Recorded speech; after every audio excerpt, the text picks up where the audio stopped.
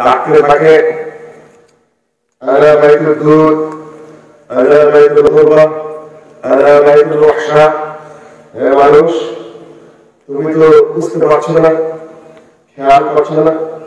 অবহেলা তুমি লালের রক্ষা করে বেখেয়ালতে সময় কাটাচ্ছ। আবার আহ্বান তোমার কানে যাচ্ছে না?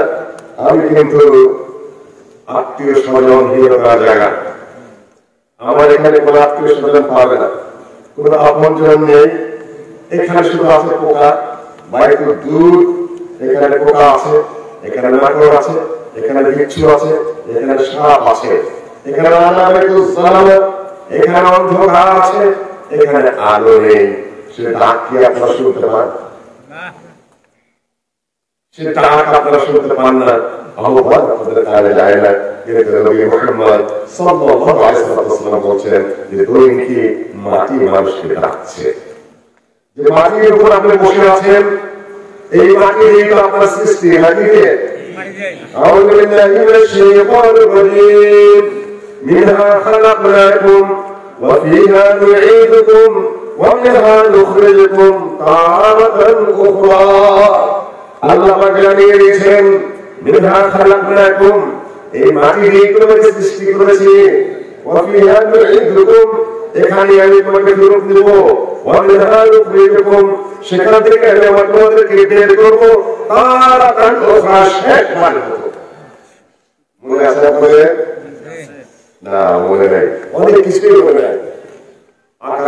আপনাকে সৃষ্টি করা হয়েছিল সেখানে আপনার কাছ থেকে কিছু ওয়াদা নিয়েছিলেন আল্লাহ পাক মনে আছে?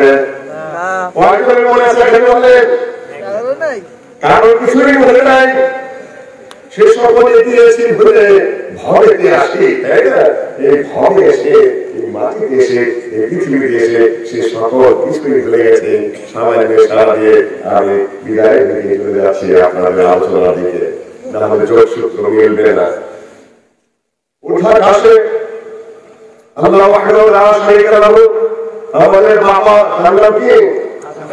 আদম তার সন্তানগুলোকে বের করলেন প্রত্যেক সন্তানের পৃষ্ঠ থেকে আবার রূপগুলোকে বের করলেন আত্মাগুলোকে বের করলেন ছোট্ট ছোট্ট ছোট্ট ছোট্ট, ক্ষুদ্র ক্ষুদ্র মানুষের আকৃতি বের করলেন। তারপরে তাদেরকে বললেন আমি কি তোমাদের রব নই? তখন কি বলছিলেন বালা আরবি শব্দ বালা না প্রশ্ন করা হয় আমাকে জবাব হলো বালা। আর হ্যাঁ জানলে প্রশ্ন করা হয় তার উত্তর কি? না। আর আস্তু রব্বিকুম কি তোমাদের রব নই? তখন আমরা সবাই সমস্ত জবাব দিয়েছিলাম, পৃথিবীতে যারা এসেছি, যারা মুসলিম হই অমুসলিম হই মুশরিক হই মুওয়াহিদ হই, ইহুদি হই, খ্রিস্টান হই, আর আস্তিক হই, নাস্তিক হই সকলে কিন্তু উদ্ধার আসে আল্লাহ ওয়াহদাহু লা শারীকা লাহু সাক্ষী দিয়ে স্বীকার করে এসেছে। বালা আপনি আমাদের মনে আছে? মনে নাই? মনে না থাকা অপরাধ। এই কোরআনের সূরা আল আরাফের আয়াতে আল্লাহ পাক বলেছে এরপরে কি তার বলতে পারবে না যে ভুলে গেছি। ভুলে গেছি কথা বলা যাবে না।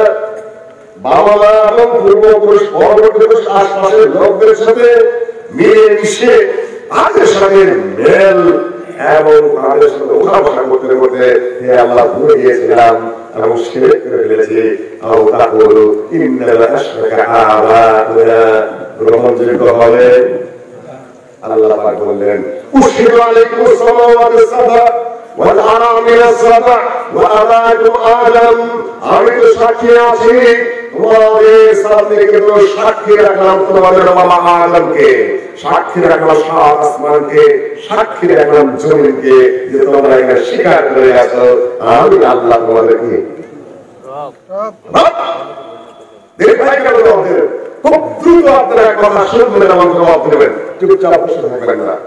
দ্রুত যতক্ষণ বলব ইনশাআল্লাহ তোমার যাব হাসি থেকে মৌলিক কথা আমি বলে যাব ডান পথে কোনো কথা যেন আল্লাহ অতিরিক্ত মধ্যে না করা।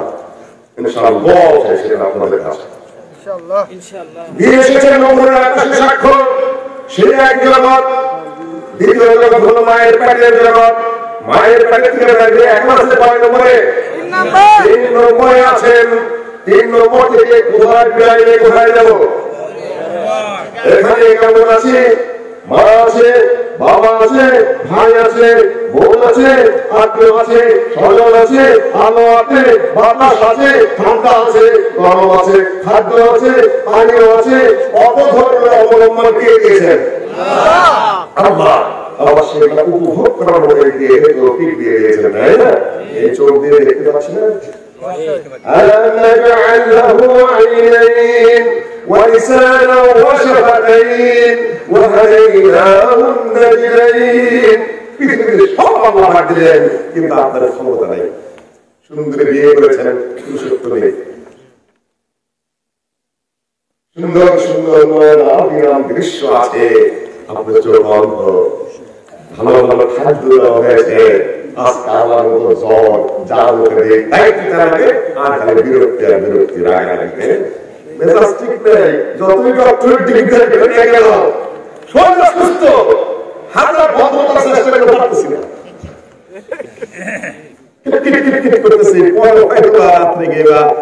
সুস্থ করেন, তাহলে বলব কেন একটি ভাবটা করলাম, কিন্তু ঠিক নেই ঠিক নেই। আমি তো ডক্টরের ডিগ্রি আমাকে ঠেকাবে কোথা থেকে? জিপায় সব চলে গেছে মুক্তিতা হয়ে গেছে? আর আমরা জান পাই নাই। তো দুই চোখ কেন দেই নাই, কি প্রশ্ন করেন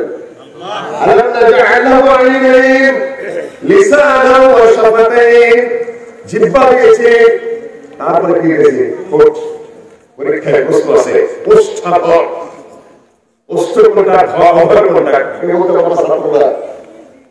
প্রশ্ন আছে বিসিএস এমন ভর্তি পরীক্ষায় ওষ্ঠাধর ওষ্ঠ কোনটা আর ধর কোনটা ওষ্ঠ উপরে আর অধর কোনটা নিচেরটা দুটো মিলে কি? দুটো মিলে পরিকল্পনা পরীক্ষায় করে আসে এটা। ওষ্ঠাধর ওষ্ঠ কোনটা অধর কোনটা ওষ্ঠর উপরে আর অধর নিচে দুইটা মিলে কি? ওষ্ঠাধর এদের আল্লাহ বলেন আমি দিয়েছি নিসান ও দুই ঠোঁট দিয়েছি আল্লাহ দিয়েছেন আল্লাহ শুকরিয়া আদায় করতে হয়।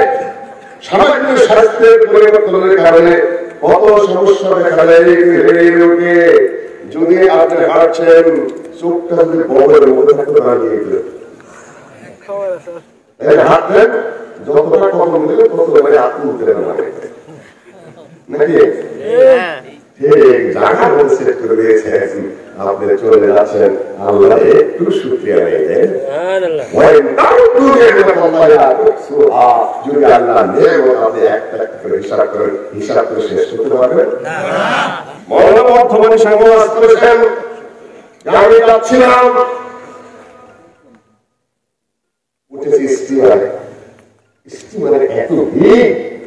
মানুষের যানজট দক্ষিণের এলাকার মানুষ যারা তারা জানবেন যে সেখানে আমি শুয়ে পড়েছি শুয়ে পড়ার পর থেকে পা সোজা করতে পারি না তখন আল্লাহকে বললাম আল্লাহ কেন নাট একটু সিস্টেম কেন করে দিলাম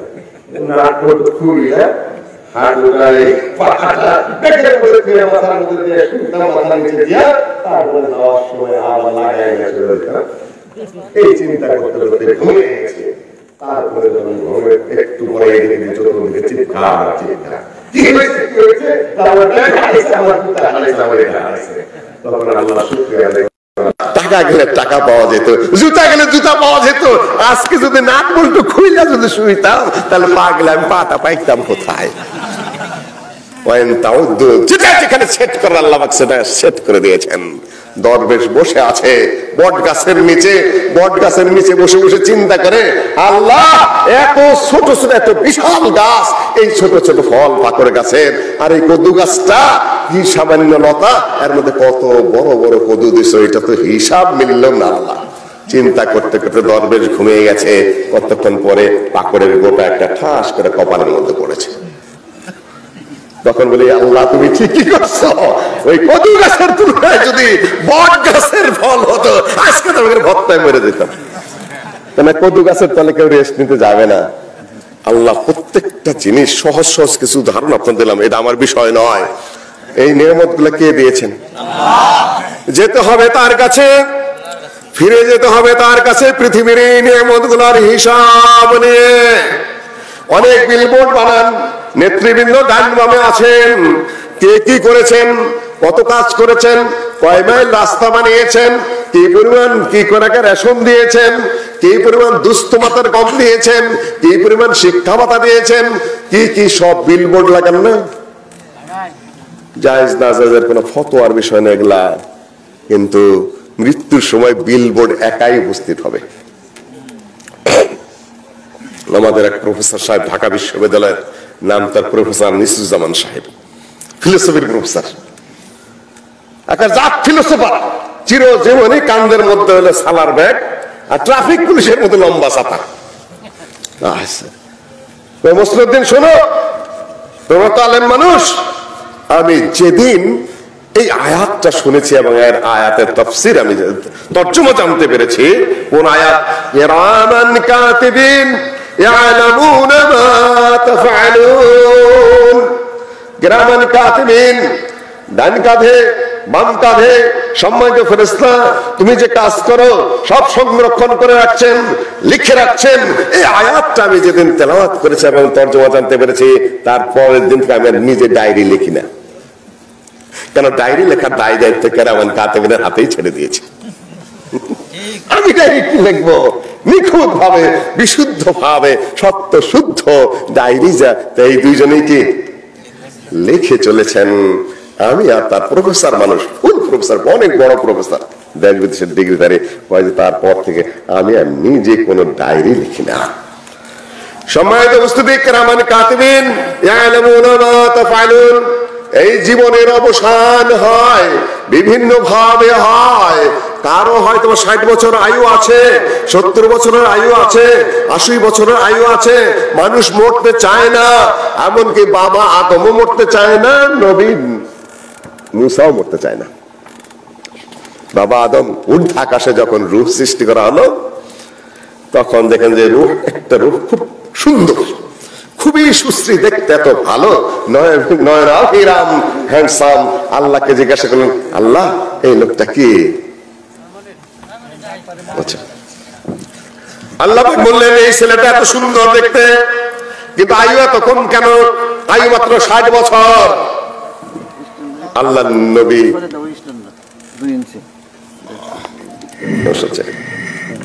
হ্যাঁ ঠিক আছে? আচ্ছা ঠিক আছে। জাজাকুল্লাহ খেরেন আদম আলাই সালাম আল্লাহকে বলে, এত সুন্দর দেখা যাচ্ছে ছেলেটাকে। এই ছেলেটার বয়স এত কম কেন? আয়ু এত কম কেন? মাত্র ষাট বছর। এর আয়ু বাড়িয়ে দেওয়া যায় না। আল্লাহ বললেন, আদম, আমার কাছে আয়ু আর বাড়বে না। ওটাই তার তাকদির আমার সেট করা আছে। যে আমার তাহলে কি কি উপায় কি? এত সুন্দর ছেলেটা, এত স্বল্প সময় মারবো আল্লাহ? তাহলে আমি আমার আয়ু থেকে চল্লিশ বছর দিয়ে দিই। তা যদি তুমি দাও, তাহলে সেটা গ্রহণযোগ্য। চল্লিশ বছর দিয়ে আসলেন আদম আলাইসালাম দাউদের আয়ু কত হয়ে গেল? ষাট আর চল্লিশ? মৃত্যুর সময় হয়ে গেল বাবা আদমের। ফেরেস্তা এসে হাজির মালাকুল মৌত এসে বলছে, দুয়ারে এসেছে পালকি নাইরিকাও তুলো, কি তুলো, উঠেন। নবীদের কাছে ফেরেস্তার অনুমতি চায় সবসময়। সম্মান আছে তাদের। হঠাৎ করে নবীদের রূপ কবজা করা হয় না। এসে প্রত্যেক নবীর কাছে মালাকুল মৌত এসে সালাম দে প্রস্তুতি হতে বলেন, আপনার সময় শেষ আপনি রেডি হন। আদম বলছেন যে, কেন? আমার তো আরও চল্লিশ বছর বাকি আছে, তুমি এত আগেই এসেছ কেন? কেন? আপনি ভুলে গেছেন? আপনি যে আপনার পুত্র, পরবর্তী পুত্র প্রজন্মের দাউদকে যে চল্লিশ বছর দিয়ে এসেছেন, পৃথিবীর স্বভাব সুলভ আচরণ করে বলছেন আমি তো মনে করতে পারতেছি না। মনে করতে পারতেছি না। মালাকুল মত ঊর্ধ্বাকাশে চলে যান। আল্লাহর কাছে গিয়ে বলেন, আপনার এই বান্দা এমনি কারও চল্লিশ বছর আছে, আমার কথা শুনতে চায় না। আল্লাহর পক্ষ থেকে লৌহে মাহফুজে লেখা আছে, আয়ু কত কত বন্টন হয়েছে, সেখান থেকে ডকুমেন্ট নিয়ে, খাতা নিয়ে, তারপরে বাবা আদমের কাছে সে হাজির হয়েছে। আপনি মানতে চান না, এই দেখেন, এখন দফতর দেখেন। এখন আদমের তার যাওয়ার জায়গা নেই হ্যাঁ ঠিকই তো আছে। কাগজে, কলমের লিপিবদ্ধ আছে, লৌহে মাহফুজে সেখানে বদলিয়ে দেওয়া আছে। যা হবে সেটা কাগজ আসার পরে আদম আলাইসাল্লাম প্রস্তুত হলেন, আমার তো আর কিছু করার নাই। যাই, মানুষ মরতে চায় না। নবী মুসার মৃত্যুর সময় হয়ে গেল। মালাকুল মৌত এসে হাজির, রেডি হন। খুবই রাগী মানুষ মুসা আলাইসালাম অত্যন্ত শক্তিশালী মানুষ। বিকট তার শক্তি, দশ পনেরো বিশ জন মানুষ তার সামনে কিছু না। ওই যে ফেরাউনের অত্যাচারে এসে পড়েছেন তিনি মাদিয়ানে। দুইজন বাচ্চা তরুণী ওখানে ছাগলের পানি খাওয়াবে, দুম্বারে পানি খাওয়াবে। সবাই কূপের মুখ বন্ধ করে দিয়ে চলে গেছে, পাথর দিয়ে। কোরআনে কিন্তু বিস্তারিত কাহিনী রয়ে গেছে। এখন ওরা তো কি করবে? বৃদ্ধ বাবা রয়েছে ঘরে। তার জন্য পানি নিয়ে যেতে হবে। দুম্বাকে পানি পান করাতে হবে। সবাই কূপের মুখ বন্ধ করে চলে গেছে। মুসা আলি সালাম সেই মিশর থেকে পালিয়ে এসে জুতা ছেড়ে গেছে, জামা ছেড়ে গেছে। ওই অবস্থায় একটু পানি পান করে গাছের নিচে বসে আল্লাহ শুক্রিয়া আদায় করছে। রব্বে ইন্নি লিমা আনসালতে ইলাইয়া মিন খাইরিন ফাকির। আল্লাহ, সামান্য যা কিছু তুমি আমাকে দিছো, একটু নিরাপত্তা দিয়েছ ফেরাউনের হাত থেকে। আল্লাহ একটু গাছের ছায়া বসতে পেরেছে। একটু পানি পান করে করতে পেরেছি। আল্লাহ কান্দাও তোমার কাছে, আলহামদুলিল্লাহ। স্বল্পে তুষ্ট হতে হয় আল্লাহর কাছে। মেয়ে দুটা দাঁড়িয়ে আছে। মুসা কি তোমাদের বিষয় কি? দাঁড়িয়ে আছো কেন? যে যে বন্ধ করে চলে গেছে, বাবা বুড়ো মানুষ, আমরাই ছাগল চড়াই। এখন তো পানিও পান করতে পারছি না, পানি নিতে পারছি না বাবার জন্য, আর ছাগল দুম্বাকে পানি পান করতে পারছি না। মুসা এক হাত দিয়ে এমন এক মারছে, কোথায় চলে গেছে পাথর? হয়েছে, দশ থেকে তেরো জন মানুষ লাগে সেই পাথর সরাতে, একাই এক হাত দিয়ে সরিয়ে ফেলেছে। বাকি কাহিনী আমি বলছি না। সম্মানিত মুসলিম সেই মুসা আলাইসাল্লাম মরতে চান না, মালাকুল মত এসে হাজির। রাগের চোটে এমন জোরে থাপ্পড় মেরেছে যে মালাকুল মতের চোখ কানা হয়ে গেছে। উঠ আকাশে চলে গিয়ে আল্লাহর কাছে বলছে, আপনার এই বান্দাও মরতে চায় না। তবে দেখুন, চোখের কি অবস্থা করে ফেলেছে থাপ্পর চোখ কানা করে দিয়েছে। কাহিনী তো আল্লাহ ঘটাচ্ছেন সব। আল্লাহ বললেন যে, তাই নাকি? মালাকুল মত বলছেন যে, আমি জানি এই বান্দা আপনার খুব প্রিয়। এই জন্য আমি প্রতিশোধ নেই, নাই, না হলে দেখতাম আপনার এই বন্দার মুসার গায়ে কত শক্তি আর আমার গায়ে কত শক্তি। প্রতিশোধ নিয়ে আসতাম, কিন্তু আপনি ভালোবাসেন, এটা আমি জানি, কাজে প্রতিশোধ নিয়ে আসি নাই। আল্লাহ বললেন, মালাকাল মত তুমি ফিরে যাও। ফিরে যে বলো যে সুসংবাদ আছে। কি সুসংবাদ? যে আপনার এই হাত একটা বলদের পিঠের উপরে রাখবেন। বলদের পিঠে এই হাতের নিচে যে পরিমাণ লোম পড়বে, যত হাজার লোম পড়বে, অত হাজার বছর আয়ু বাড়িয়ে দেওয়া হবে। মালাকুল মমদেশে মুসা বলেন সুখবর আছে, আপনি মরতে চান না? আল্লাহ বলেছেন, একটা বলদের পিঠের উপর হাত রাখবেন, যত হাজার লোম আপনার হাতের নিচে পড়বে, অত হাজার বছর আয়ু বাড়িয়ে দেওয়া হবে। ভদ্র লোকের সরম দিতে হয় ভদ্র ভাবে এখন বুঝে বলে ও, আমি তো ভুল করে ফেলেছি। আপনাকে একজন অশ্লীল ভাষায় গালিগালাজ করছে। আপনি ভদ্রলোক হলে আপনি অশ্লীল ভাষায় গালিগালাজ করবেন না। আপনি বলে দেবেন যে, আমার বাবা মা সভ্য ভদ্র কাজে আপনার জবাব আমি দিতে পারলাম না। আর কোনো কথা লাগে? তার অর্থ কি? আপনি কিন্তু বললেন যে, ওর বাবা মা খারাপ। তা কিন্তু আপনি বললেন না। আপনি শুধু নিজেরটা বললেন, আমার বাবা মা ভদ্রলোক। সুতরাং তোমার উপযুক্ত জবাব আমি দিতে পারলাম না। কথা কিন্তু হয়ে গেল। আর শক্ত ভাবে হয়ে গেল। মুসা আলাইসালাম আয়ু চাও? আল্লাহ আয়ুর গ্যারান্টি দিয়ে দিল। মুসা আলাইসালাম এখন বুঝতে পেরেছে ও আল্লাহ তো খুব ভদ্র ভাবে আমাকে শিক্ষা দিয়ে দিলেন। তারপরে কি হবে? যে, তারপরে মরতেই হবে, যে, তাহলে আমি আর বাঁচতে চাই না। উল্টা হয়ে গেল কাহিনী। তবে আমার বড়ই আশা ছিল, আমার বড় ইচ্ছা ছিল মনের মধ্যে সেই যে চল্লিশ বছর পানি ইসরায়েলের উপরে আল্লাহর পক্ষ থেকে শাস্তি ছিল শাস্তির বিধান হয়েছিল। সেখান থেকে বেরোতে পারবে না। ওই টাইমের কথা মুসা বলছেন, আল্লাহ, আমি বাইতুল মাকদেসের কাছে মরতে চেয়েছিলাম। ওইখানে একটু তুমি দ্রুত গতিতে পাথর যেভাবে ঢেল দিয়ে দেয়, ওইভাবে তুমি ঢিল নিক্ষেপ করে দাও। আমি সেখানে গিয়ে মরতে চাই। আল্লাহ পাক ব্যবস্থা করে দিলেন। মুসা আলাইসালাম দ্রুত গতিতে পৌঁছতে পারলেন বাইতুল মাকদাসের কাছে। সেখানে মুসা আলাইসালামের মৃত্যু হলো। আল্লাহ বলেন, যখন আমি মেহরাজে যাই, তখন আমি দেখতে পেলাম মুসা আলাইসালামকে বাইতুল মাকদাসের কাছে লাল বালি যেখানে আছে, সেই লাল বালির নিচে তার কবর রয়েছে এবং কবরের মধ্যে তিনি সালাত আদায় করছেন। হাদিস সাহেব কোন বানাওটি কথাবার্তার কারবার নাই, ইনশাআল্লাহ আজিজ। মানুষ মরতে চায় না। আপনি মরতে চান? আমি মরতে চাই। কিন্তু মরতে কিন্তু মরতে যে হবেই, ওই বিদায় নিয়ে আমি আপনাদের সামনে সামান্য কথাবার্তা বলছি, তাই না?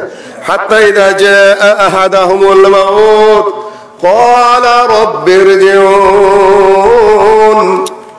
যখন কোন মানুষের মৃত্যু উপস্থিত হয় আবু সালামা মৃত্যু উপস্থিত হচ্ছে। আল্লাহ নবী সেখানে উপস্থিত হয়ে সান্ত্বনা দিচ্ছেন সবাইকে। চিন্তা করো না, সবারই তো মরতে হবে। সেখানে বসে বসে আল্লাহ নবী সান্ত্বনা দিচ্ছেন। হঠাৎ করে দেখা গেল, আবু সালমা রাদিয়াল্লাহু তাআলা আনহুর চোখ দুটো বড় বড় হয়ে গেছে।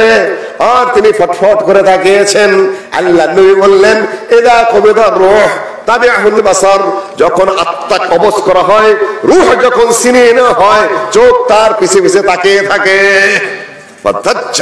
তখন সবাই ভয়ের চোটে চিৎকার করে উঠলেন। আল্লাহ নবী যে দোয়া পাঠ করলেন সেই দোয়া এখন আর আমি আপনাদের সামনে বলছি না। ওই সময় দোয়া পাঠ করতে হয়। সে দোয়া মেশকাতুল মাসাবিত রয়ে গেছে।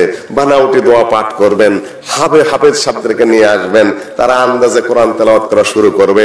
একরা ওয়ালা মাওতাকুম সূরাতে ইয়াসিন, তোমরা তোমাদের যারা মৃত্যুবরণ করতে যায়, তাদের উপর সূরা ইয়াসিন পাঠ করো। একটা মানে জয়ফ এবং জালের কাছাকাছি এগুলা, এগুলার কোনো সত্যিকারের ভিত্তি নাই, যতটুকু দোয়া আছে।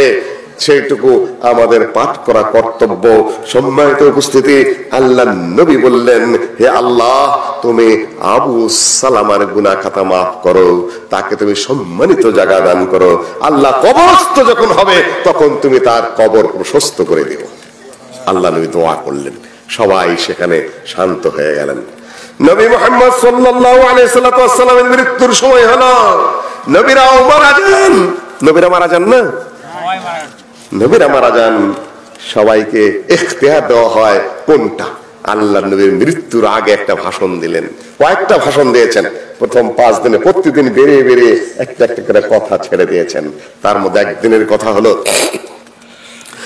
থেকে আল্লাহ লা তার কোন বান্দাকে দুনিয়ায় থাকবে, না ফিরে যাবে, এই ব্যাপারে ইখতিয়ার দিয়েছেন। অধিকার দিয়েছেন। সে ইচ্ছা করলে দুনিয়াতেও থাকতে পারে, ইচ্ছা করলে আখেরাতেও ফিরে যেতে পারে। সে আল্লাহর সেই বান্দা আখেরাতকেই এখতিয়ার করেছে, আখেরাতকেই গ্রহণ করেছে। শুনে আবু বাক্কর রাদিয়াল্লাহু তাআলা আনহু কান্নাকাটি শুরু করে দিলেন। সাহাবীরা বললেন, যে এই বুড়ার হইল কি? আল্লাহ নবী সাধারণ একটা কথা বললেন যে কোন এক মনিব তাকে অনুমতি দিয়েছে, আও চলে যাবে, না থাকবে।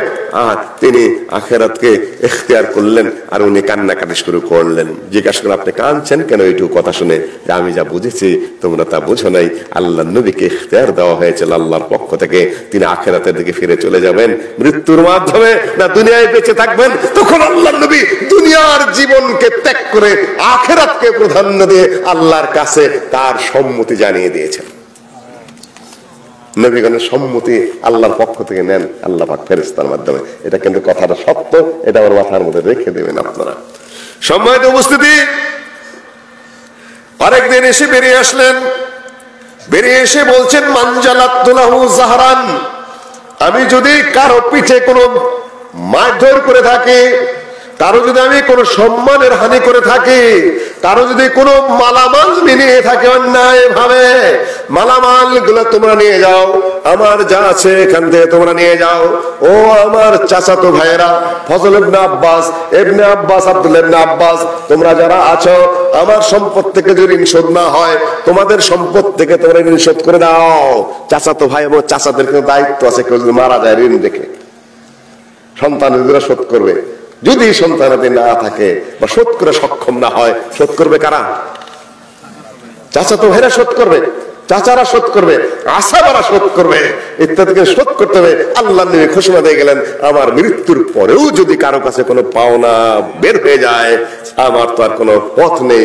তাহলে হে আমার চাচাতো ভাইরা, হে আব্দুল্লাহ আব্বাস, হে ফজল আব্বাস, তোমরা যারা আছো, আমার পক্ষ থেকে ঋণ শোধ করে দেবে।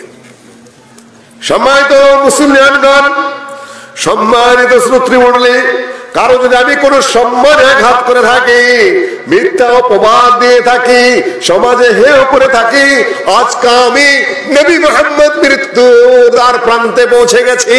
তোমরা আমাকে ক্ষমা করে দিও। আর যদি আমি কারও পিঠে চাবুক মেরে থাকি অন্যায় ভাবে তাহলে তোমরা আজকের এই পৃথিবীতে তার প্রতিশোধ নিয়ে নাও। মোটামুটি ভাবে গ্রহণযোগ্য কাহিনী। একজন এসে বলছে রসল্লাহ আমার পিঠে আপনি ব্যত্রাঘাত করেছিলেন। কোন এক যুদ্ধের সময়, লাইন করার সময়, যুদ্ধের মাঠে। যে তাই নাকি? যা সাথে সাথে আল্লাহ নবী জামাটা খুলে পিঠটা পেতে দিয়ে বললেন যে, তুমি প্রতিশোধ নিয়ে নাও। বলছে রাসূলুল্লাহ, আমি প্রতিশোধ নেওয়ার জন্য আপনার জামা খুলতে বলি নাই। আপনার ঘাড়ের উপরে যে মোহরে নবুয়ত আছে, কবুতরের ডিমের মতো নবুয়তের যে সিলটা আছে, ওইটা দেখার আমার বড় শখ ছিল। আজকে আমি দেখে নিলাম, ঘাড়ের মধ্যে চুমা দিয়ে তিনি বলেন ইয়া রাসূলুল্লাহ, আমাকে ক্ষমা করে দিন। সব কিছু আল্লাহ বলেছেন, মান কানা মাসলামা যা কারও কাছে যদি কেউ জুলুম করে থাকে, অত্যাচার করে থাকে, কোনো মানুষের কোনো পাওনা যদি কারও থেকে থাকে, লেনদেনের কোনো বিষয়ে থাকে, সাথে সাথে তোমরা সেটা পরিশোধ করে নিও। কেননা এমন এক দিন আসবে লাইন ফমানু ওয়ালা বানুন, যেদিন কোনো শোধ নেওয়ার কোনো উপায় থাকবে না। দিতে চাবে, কিন্তু দিতে পারবে না। আলী তাআলা আনহু বলেন, সহিহ বুখারীর হাদিস, শোনো, তোমরা ভালো করে দুনিয়ার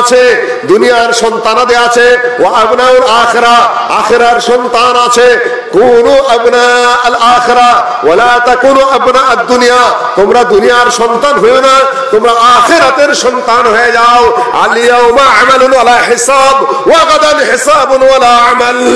বুঝছেন তো? তোমার আখেরাতের সন্তান হও, কেন আজকের দিনে শুধুমাত্র আমল কোনো হিসাব নাই? এই যে আমল করছেন, হিসাব আছে? পাঁচ অক্ট সালাত আদায় করলেন, এই যে এত দান খয়রাত করলেন, তাই না? পাঁচ টাকা, দুই টাকা, এক হাজার, দুই হাজার, এই ধরনের হিসাব আছে। কিন্তু আল্লাহর কাছে কি হলো, সেটাকে আপনি জানতে পারছেন? এইটার কথা বলছেন ওয়ালা হিসাব। আজকে শুধু আমল করছ, কিন্তু হিসাব তো আজকে হচ্ছে না। আর গাদান হিসাবুন ওয়ালা আমল। আগামী কাল মানে আগামী কাল বলতে কিয়ামত। আল্লাহ নবী বলতেন, গাদান আল্লি মানে কাল কিয়ামত কাল কিয়ামত কাল কিয়ামত মানে কিয়ামত কালকে এইভাবে আল্লাহ নবী বুঝাইতেন। কিয়ামত বেশি দূরে না, কিয়ামত কালকে কালকে শুধুমাত্র হিসাব আর আমলের কি নাই? আমলের স্কোপ আছে? আমলের জায়গা আছে? না। মৃত্যুর সময় যে বলছিলাম বিল বোর্ড এসে সামনে উপস্থিত হবে। কি কি করেছেন আর কি কি করেন নাই? আগেই বলেছিলাম যে দুই কান্দের ফেস্তা লেখছে ডায়েরি মেনটেনের তেমন প্রয়োজন নাই।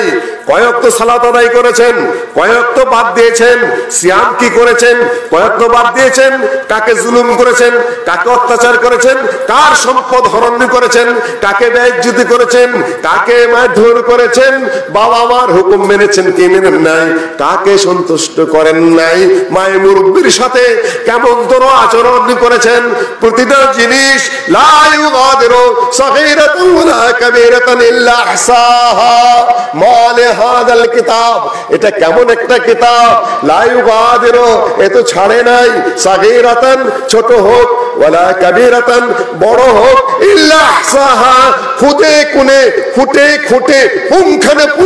সব ধরে রেখেছে। বুঝতে পারছেন আপনারা কিছু? বুঝতে পারছেন? বিলবোর্ড মৃত্যুর সময় এমনি আপনার সামনে উপস্থিত হবে তখন আপনি প্রথম কি চাবেন জানেন আজকে যে কাজটা করেছেন قال رب لولا أخرتني إلى أجل قريب فأصدق وأكن من الصالحين ওই সময় বলে আল্লাহ আত্মাটা ফেরত দাও তাড়াতাড়ি ফেরত দাও প্রথম কাজ কি করবেন আমি সাজ্জা করব আমি দান করব এবং নেককারদের অন্তর্ভুক্ত হয়ে যাব। কেন বলেন তো? দান সাদগার কথা কেন বলবেন বলবে না যে আমি সালাত আদায় করব। বলবে না যে আমি হজ করব। বলবে না যে আমি অমুকের এই সেই করব। কি করবে প্রথম? তবর একটা কথা আছে সেটা আমি পরে আসছি। ধারাবাহিকভাবে সামান্য সময়ের জন্য আপনাদেরকে বিদায় দেবো, ইনশাআল্লাহ। দান সাদকা করব, কেন জানেন? সালাত আদায় করতে গেলে অক্ত হতে হবে। অক্ত ছাড়া সালাত আদায় করুন যায়? না। অজু ছাড়া সালাত হবে? সালাত আদায় করতে চাইলেই তো আপনি পারবেন না। সালাতের অক্ত হতে হবে। আমার কি? অজু করতে হবে। যদি করেন যে হজ করব, পারবেন। হজের জন্য আপনার মাল লাগবে, সুস্থতা লাগবে, কাবায় যাইতে হবে। আবার জুল হজ মাসও হইতে হবে, তাই না? এত ঝামেলা তো পারবেন না। একটা কাজ আছে যেখানে অজু লাগে না। একটা কাজ আছে যেখানে অক্ত হইতে হয় না। একটা কাজ আছে যেটার জন্য কাবায় যাইতে হয় না। কোনো কিছুই করতে হয় না। খালি পকেটে হাত দিলেই হয় সে কাজটা কি? মরার সময় বুঝে আল্লাহ আমি সাদকা করব দান করব। যেটার মধ্যে আমার সময় লাগবে না রক্ত লাগবে না অজু লাগবে না কিচ্ছু লাগবে না। খালি জানটা ফেরত দাও খালি পকেটে হাত দিয়ে দিয়ে দেবো।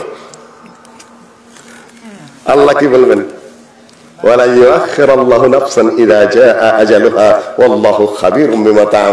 বান্দা তুই তো বোঝস আমি মাল দিয়ে কি করব? আমি ধন দিয়ে কি করব? আমি সম্পদ দিয়ে কি করব? দিয়া ধন বুঝে মন কেড়ে নিতে কতক্ষণ এই মালকার আল্লাহ। দরকার আছে কিছু। আল্লাহ খায়। আল্লাহ পরে। আল্লাহ সন্তান দিয়েছে, আল্লাহ আপনার মাল দেয় করবে, এটা কি? আল্লাহর কোন দরকার আছে? কার দরকারটা কার? আপনার নিজের। আপনাদের নিজেদের গরিবে পাবে না আপনি দিলেন, আপনি আল্লাহর কাছে পাবেন। আল্লাহর কোনো দরকার নাই। এই যে মসজিদে এত দান খরাত করতেছেন, আল্লাহর এক একটা জান্নাত। যে কত বড়। আমি আপনাদেরকে ছোট্ট একটা উদাহরণ দেয় বুঝাই। এই যে মসজিদ আপনার বানানোর দরকার আছে? আল্লাহ মসজিদ বানাই দিতে পারেন না? খালি কোন বলবে? খালি কোন বলে মসজিদ হয়ে যা না দেরি লাগবে মসজিদ হইতে? দেরি লাগবে? এই যে মাটিটা কি দিয়ে সৃষ্টি করছেন কোন? সূর্য ওই মাটির চেয়ে তেরো লক্ষ গুণ বড়। কি বলেছেন আল্লাহ পাক? কোন? এই যে এক একটা নক্ষত্র ছোট্ট ছোট দেখেন না? কত বড় জানেন?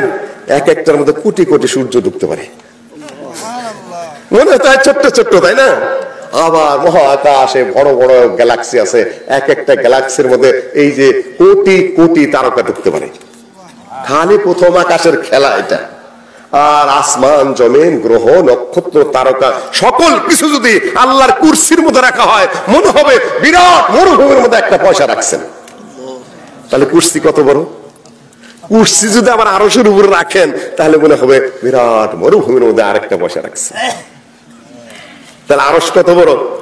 কিছুই না আল্লাহর কাছে। আল্লাহর এক একটা জান্নাত, ছোট্ট একটা জান্নাত কত বড় সেটা আমি আপনাকে একটা উদাহরণ দিচ্ছি।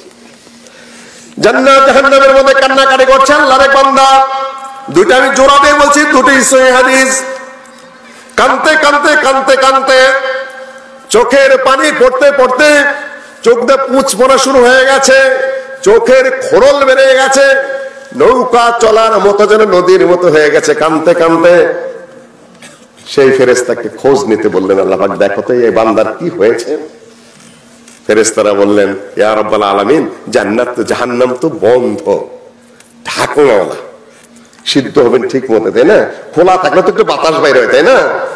ঢাইকা দিলে কি হয়? সিদ্ধ হয়, সুন্দর হবে নাকি আলু সিদ্ধ করেন তো আপনারা। এই শীতকালে দেখতাম, ছোটকালে মা সিদ্ধ করতেন। এই মৌ আলু বলতাম আমরা। নিচে একটু সোলা টোলা দেয়া, তার মধ্যে একটু পানি দেয়া, তার মধ্যে আলু দেয়া ভালো করে খোড়া দেয় ঢাইকে, তার মধ্যে মাটি দেয়া পয়সা লেপা দিতেন। খুব ভালো হবে। মুইঠা পিঠা। ঢাইকা দিলে কি হয়? নুসনুসা হয়ে সিদ্ধ হয়। এইরকম জাহান্নাম কি হবে? নিচে তো আছে একটা ঢাকনি ঢেকে যাইতে না। আল্লাহ আবার যা। ফেরেশতা গিয়ে দেখে যে ঢাকনি খুলে গেছে। কি চাও? যে এই অবস্থায় আছে। ইয়া হান্নান। ইয়া বলে, হাজার হাজার বছর যাবৎ আল্লাহকে ডাকছে। তুলে আনা হবে তুলে আনার পরে আল্লাহ পাক জিজ্ঞাসা করুন বান্দা কেন ডাকছিলে? তাপ সহ্য হয় না তোমার দয়ার আশায় ডাকছিলাম। ঠিক আছে তুমি এখন ফেরত যাও। বান্দা বলে আলামিন তুমি আমার ফেরত দিবে আমাকে জাহান্নামের মধ্যে? এই আশা তো করি নাই যে কি আশা করেছ? আল্লাহ তুমি মাফ করে জান্নাতে দেবে এই আশা করেছিলাম। যা তোর আশা পুরা করল জাহান্নামের কাছে বান্দা বসে আছে। জাহান্নাম থেকে ছেকা লাগতেছে, তাপ লাগতেছে। জাহান্নামের তো তাপ। আমাদের সময় ছোটকালে মেজবানি হতো, বড় বড় গরু জবাই করে গ্রামকে গ্রাম দাওয়াত দেওয়া হতো, আমরা সেখানে আগুন বহাইতাম ছোটকালে। তাপ লাগতো। জাহান্নামের তাপ যদি লাগে, সেটা কত মিষ্টি মধুর বলুন তো দেখি। জাহান নামের কাছে আল্লাহ, সব তো আল্লাহর ইচ্ছা। আল্লাহ নবী বর্ণনা করছেন যে জাহান নামের কাছে বসে আছে আল্লাহর এক বান্দা। সেক লাগতেছে, বলছে, ইয়া রব্বুল আলামিন তুমি তো আমাকে জাহান্নাম থেকে বাঁচিয়ে দিয়েছ। জাহান্নামের পাশে তুমি বসিয়ে রেখেছ। বড়ই তাপ লাগতেছে। ইয়া রব্বুল আলামিন, তুমি একটু জাহান্নামের এই তাপের থেকে, সেকের থেকে একটু দূরে বসার ব্যবস্থা করে দাও। আমি আর কিছু চাবো না। আল্লাহ বলে, আর তো কিছু চাবি না? যে না আর কিছুই চাবো না। আল্লাহ বিল্লাই তাল্লাই করে আল্লাহর সামনে আল্লাহর নামেই কসম করে বলতে আল্লাহ তোমারই কসম, আর কেউ যাব না। যে মনে রাখিস কিন্তু বানি আদম, মাঝখানে সরাই দিয়ে বসিয়ে দিলেন।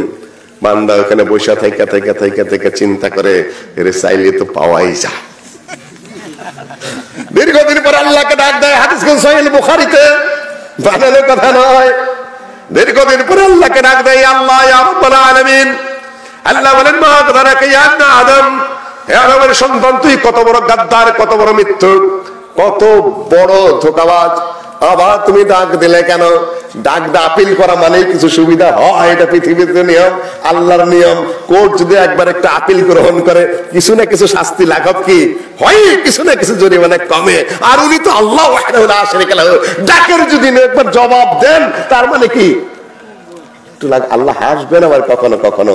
যখন আল্লাহ নবী বলেছেন, আল্লাহ যদি একবার হেসে দেন, তাহলে মাফ হয়ে গেল।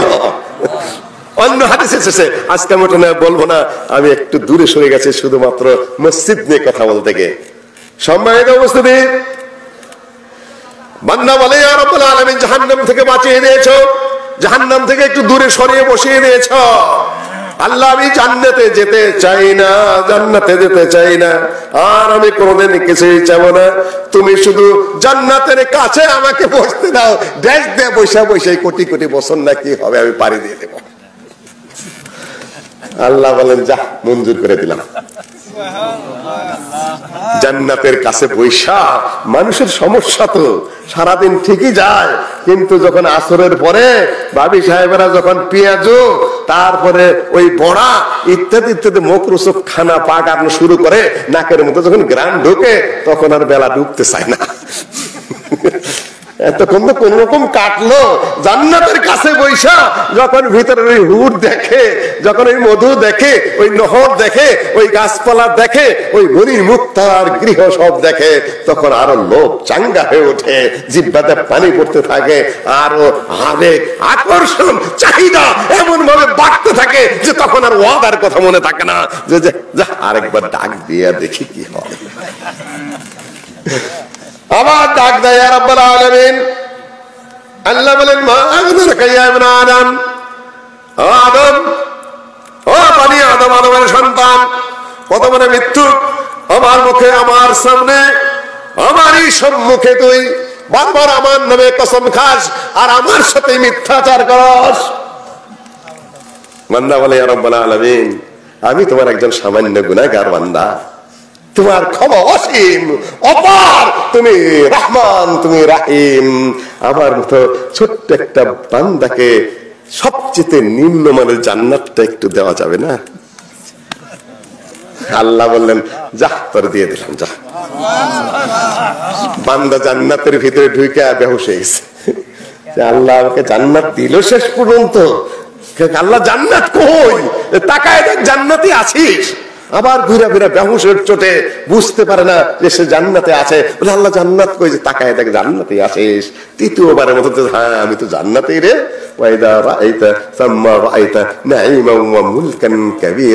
সবচেয়ে নিম্নমানের জান্নাতটি এই পৃথিবীর চেয়ে দশ গুণ বড়। এই পৃথিবীর কথা বৈজ্ঞানিকগণ বলেন এক পঞ্চাশ কোটি বর্গ মাইল। এর চেয়ে যদি দশ গুণ বড় হয় তাহলে কত বর্গ মাইল হবে?